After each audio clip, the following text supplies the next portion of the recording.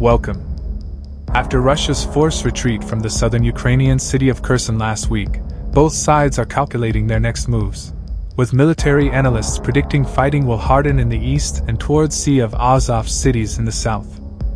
The next hotspots are expected to be near Donetsk in the eastern Donbass region, particularly near the cities of Bakhmut and Avdiivka, where combatants are already mired in fierce battles marked by intense artillery barrages and close quarter combat, and in the south en route to the strategic cities of Melitopol and Mariupol. But a Western official cautioned that despite Ukrainian momentum, as we go into 2023, we are still expecting a grind, we are still expecting it to be largely static, and we still expect neither side to particularly win or lose.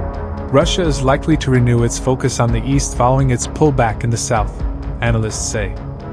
The shift would echo the Kremlin's strategy after its forces retreated from Kiev in the spring, when Moscow declared a new phase of the war aimed at fully liberating the Donbass region where since 2014 Russia has fomented a war with the use of local proxy forces. Konrad Muzyka, of Rochan Consulting, a Poland based group that tracks the war, said that alongside its recent mobilization of about 300,000 troops, Russia's withdrawal from Kherson could play to the Kremlin's advantage, allowing it to move resources away from the south and boost its forces along the eastern front line. In February, Russia entered Ukraine with a low density of forces and opened up too many operational directions, probably assuming that attacks from the north, south, and east would force Kiev into submission. Muzyka wrote in an analysis. As this plan did not materialize, Russian forces quickly became spread too thin. However, he added, with fewer territories under control, Russian force density will increase and Moscow will have more soldiers per square kilometer than since early March. Up to 50% of the Russian forces withdrawn from Kherson could be moved to other fronts, mainly in the Donbass, where Moscow has built significant new defensive positions, a Western official said.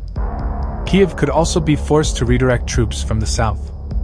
Logically, Ukraine has to redeploy additional troops to Donetsk province to not let the Russians succeed, said Alexei Melnik, a former Ukraine Air Force lieutenant colonel and now co director of the Razumkov Center think tank in Kiev. Ukraine is struggling to push Russian forces back in Donetsk. There is fierce fighting near Avdiivka, the site of a large coke plant, and Bakhmut, which sits on a key highway and is a gateway to larger cities held by Kiev that serve as important military hubs. A soldier fighting in a Ukrainian Special Forces unit near Bakhmut described the battle as hell, with casualties mounting daily.